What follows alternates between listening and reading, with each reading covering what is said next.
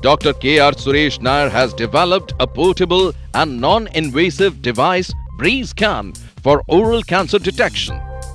Through this device, visible light at specific colors are made to fall in oral cavity through a transmit optical fiber probe. The probe is designed to receive only the light which have gone through the tissue and reflected back.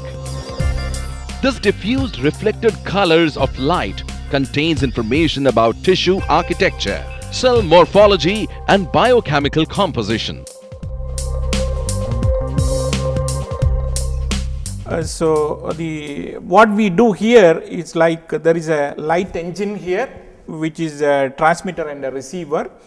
This uh, generates uh, uh a few colors what we call it as wavelengths and uh, this is sent through an optical fiber and you can see here the light coming out it is not white light it is a specifically synthesized light and uh, when this light gets reflected back uh, we use the principle of diffuse reflectance. It is not just reflected back. The light gets into the tissue which is being affected and that diffuse reflected light comes back and we have a mechanism here of the uh, fiber to receive all these light and it is given back to the engine here. The received light is first detected and analyzed using a developed model and algorithm on a real-time basis.